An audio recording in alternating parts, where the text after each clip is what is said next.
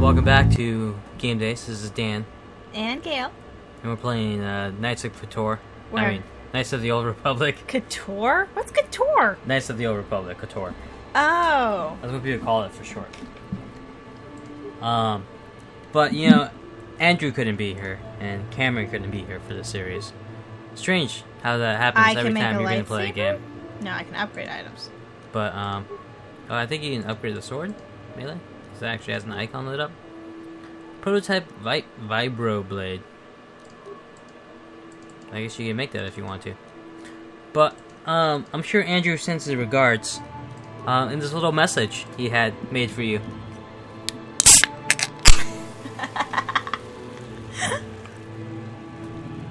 Don't worry, it's not a beer. Gayle doesn't drink alcohol. It is instead an energy drink. But the sound's the same.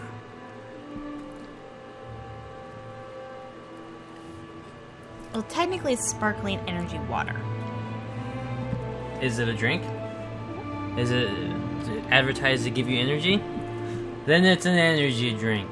I drink it because this one tastes good. It's the unsweetened one, by the way. I can see that. Carbonated water. Pretty much. Okay, so I don't know what this is doing, so I'm just gonna ignore it for now. Right, you're not even doing melee anyway, you're doing blasters. Which is strange, because I figured you want to do melee, because lightsabers are melee. Well, I, if they gave me a lightsaber, then yes, I'd use a lightsaber. But they gave Yeah, me blasters. you're gonna spec yourself for like blasters, and then you're gonna get a lightsaber. You're not gonna be any good at it. See what I'm saying? You know, Padawans have to train with the wooden lightsaber before they give them the real one. Right, you alien scum. Everybody get up against the wall. This is a raid. Oh, it's like the Gestapo. Oh, because you understand languages. Yeah. That's their fun way of saying you get to read subtitles. That's how we sift these smart mouth aliens. Now the rest of you get up against the wall before I lose my temper again. No, you've already lost your temper. You haven't gotten it Hanging out yet. So Sith are um, Jerks. racist. Se- they're into segregating. Bam.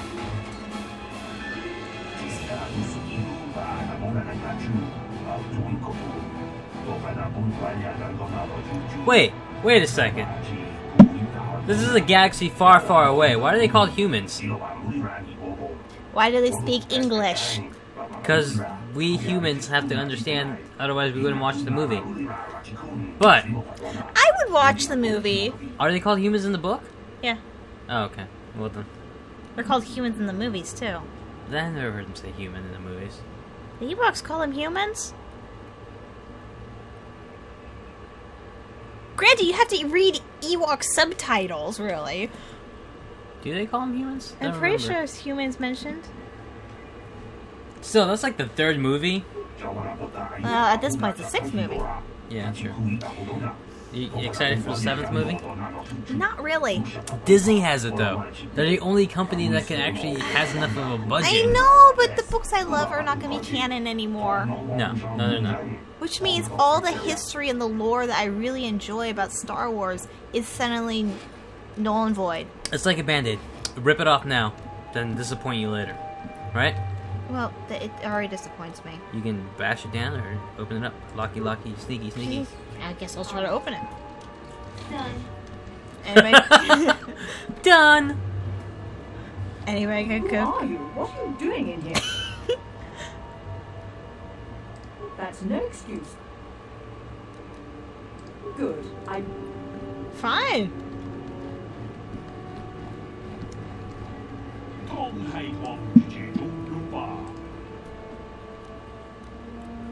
You were friendly. I.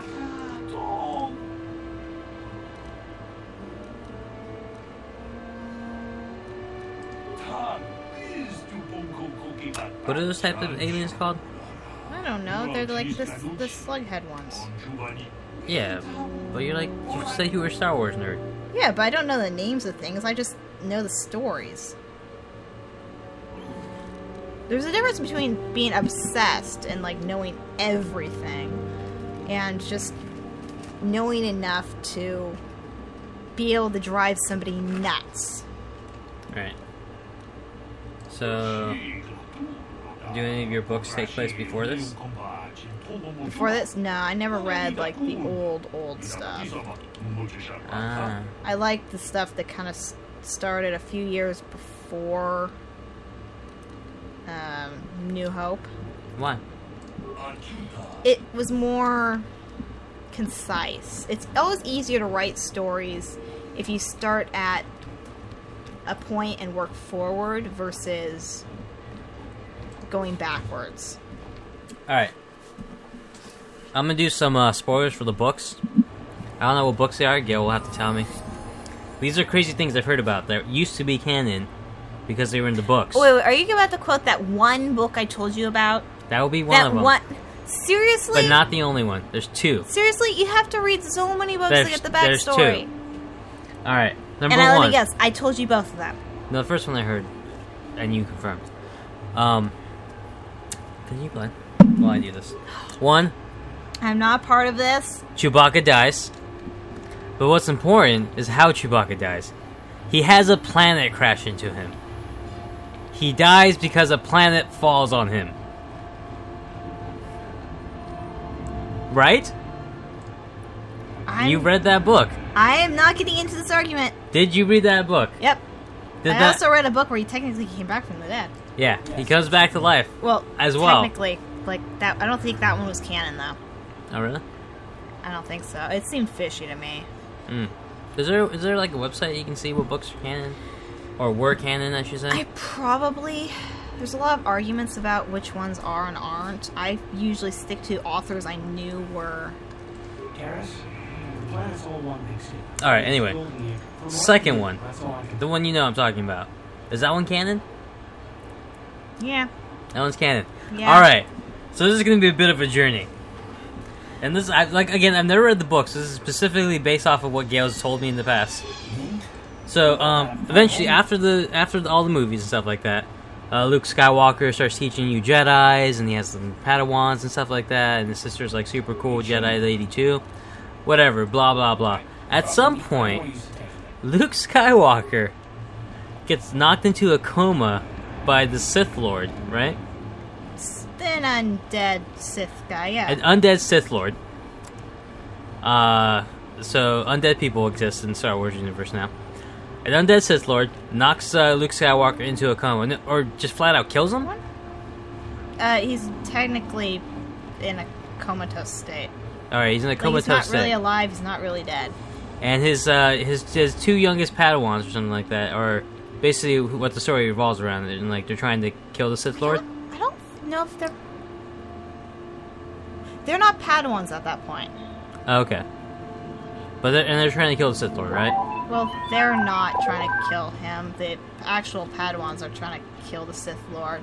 The two kids are just there at the time. Right. Does Luke Skywalker have kids, or he hit his kids? No, they're Leia's. ki- oh, Or Leia's, Leia's kids. Oh, Yeah, Ha- they're Han- Leia's so they're kids. Solo Skywalker. Gavin says you missed your last Yeah. All right, so that does happen. In case you people were worried. Um, but the most amazing part of the story is that Luke Skywalker in a coma is fighting the undead Lich with his mental mind powers have people not and his spirit form. Right? You'd probably have a better grasp on it if you actually read the book. Is that what happens? Is basically he's spirit fighting this Sith In a rough D and D sense, yes. Now, what is the name of that book so that people can go look this up, read it if they want to? I believe that's part of the trilogy that's Children of the Jedi, or ooh, what is it? It's one of my favorite se- little series of books, but I don't memorize titles. But anyway, Luke Skywalker fights a Jedi, a Sith Lord, an undead Sith Lord, in a coma, using his spirit force. Sort of. And I think the way you explained it to me is that like it was literally like a spiritual version of Luke Skywalker was literally No. fighting. No, No, he helps the kid. One of the kids fight. Wait, you didn't say this. You seriously have to read the books. You said you said he fought him with like his spirit powers, yeah, but now you're telling me that the kid's fighting him. And yeah, but how is he helping him? Help me understand this better by explaining it. here I will give you a 500-page book. They'll explain it. Oh no, I'm not reading this. And then you'll have to read the other 500-page book Not in order doing to it. get to the third book, which this actually takes place in. Nope. It has Chewbacca. I don't read franchise books that have to, that are books about a franchise, such as D and D books or. Says the man who read D&D books. I read the rules books. I haven't read any actual story books Hmm. in D and D world. I'm getting out of here before I read the rules books because I didn't know how to play. Because I knew I was the only way I was going to get a chance to actually try out what this amazing thing that everybody's always been talking about for the past like 40 years. Yeah, it's funny. It's been, yeah, 40 years. Yeah. Technically, you've read a franchise book, but you read it before it was a franchise book. What? Ender's Game. Technically, there's now a movie. No. Because it started as a book series, it got Yeah, turned into I a know. movie. And it's not a very good movie. It was decent, but had horrible plot holes. Like it was filmed well. Look at that. Yeah. It seemed acted well. They just needed to fill in. You I have no idea what. I'm doing. I'm wandering around the town shooting bad guys. Healing yourself. Alright, here's the problem with Ender's Game. It's acted well, but the thing is, the pacing is horrible. My sprint button. There's no sense of time. So as far as you're concerned, the entire movie takes place in a week. Because there's no way to tell, tell. There's nothing to tell you otherwise. If there's no day-night shooting cycle. up Sith troopers, will I get in trouble? Like, in the first, like in ten minutes of the movie, he's on, he just shows up as a cadet in battle school. And the next ten minutes, he's running his own leadership. And the next ten minutes, he's in command school. Like, there's no, there's no pacing in that movie, which just makes it almost not make sense, and makes it almost kind of seem like a parody. And that's the biggest problem with it. And it doesn't really touch on the psychological aspects that are in the book, and how they like everything happens for a reason. It just kind of just shows events happening and doesn't tell you, it doesn't really explain. Yeah. That everything's- Which after after we watched the movie, to We me, people.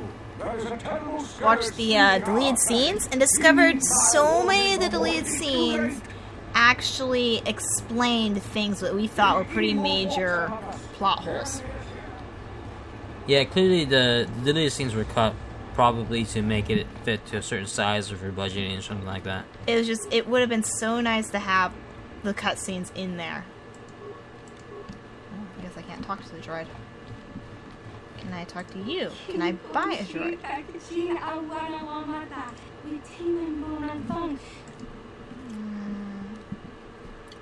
Shibona, bona na. You'd think people would be a little more tolerant of this little day and age. Kinchopa shawi ticho chine para mule. Kinton shi at kuyami omnam. Wanga kun biskin. This is. Wat na ponkon. Wana. Chi para mulek. Tonki para nolek. Don't offer it if it's not for sale. Bona na kachu. Kincha badwa. Mutu shakapaka. Yiki kon. So, um, I just remembered something somebody mentioned in one of the movies um, about Yoda. And Yoda lives basically on top of some dead person's body. Wait, what? Th- There's like this old hermit. that They're like, That's probably an urban legend. I mean, seriously, No, I think it's like- sounds sketchy. it's in one of the movies or the book, something like that. That he that when he gets to that asteroid planet that he's on, whatever, he kills somebody, and um, supposedly he just takes the guy's house and he, or something like that. Seriously, who told you that? I don't remember. It was somebody, some nerd show I was watching was talking about it, and they like made a comment about, oh, by the way, you know, like you ever you ever notice that Yoda's technically just living on some dead person's house, and like probably just bury the guy under the house, something like that. Is it from one of the books, or, for, or from No. some some mention in the movie, or something like that? No, that's just totally made up stuff. Granted, it's all made up, but Oh. this just sa- that just sounds. I don't think it is. Um, I wish I could remember where I heard that. Um, but yeah, I- I guess there used to be like a like a Sith or something that lived there, or something. I forget what it was, like a smuggler or a Sith that like Yoda ended up killing for some reason, probably because he was some evil dude, and like Absolutely no idea. What basically just took it for his own home. Do I get in trouble for shooting these guys? Do you have the option to? Well, they don't give me the option to. Then you probably can't shoot him. Darn it. Uh, join us next time in Walk Around the City Day. Where I once again come to up to the issue of this is not like Infamous, and we can't just knock out the bad guys. See you next time. Like, comment, subscribe. Bye.